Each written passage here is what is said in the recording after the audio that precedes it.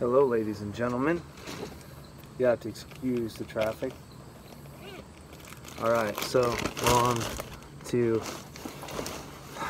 bagging up this wax dirt, which I didn't really get into how we got it to this stage. So you can look up the formula online for how much wax to how much dirt, but you need to make sure your dirt is dry before you put the wax in there. And a good way to do that is whatever way, be it crock pot, the sun, on top of the stove, you're going to heat up your soil for your wax.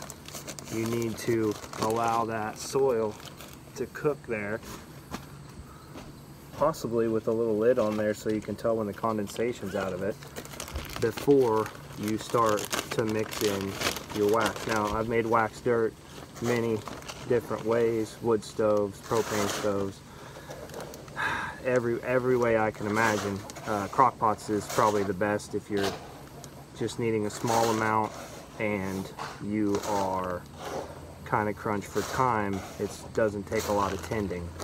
So maybe this winter if we run out of wax dirt, we will post how I do that. But all of that usually starts with robbing someone's canning supplies for some paraffin wax. But that stuff's pricey and you have to grind it. So know that is a bit of a process.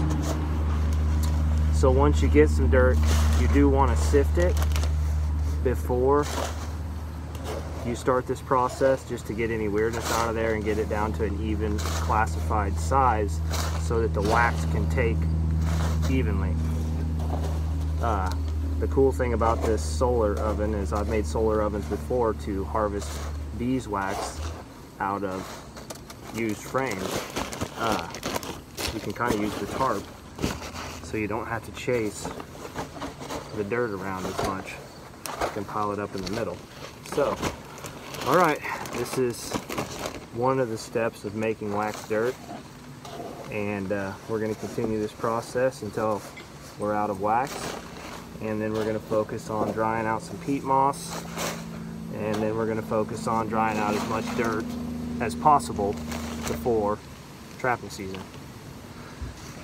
Catch you later.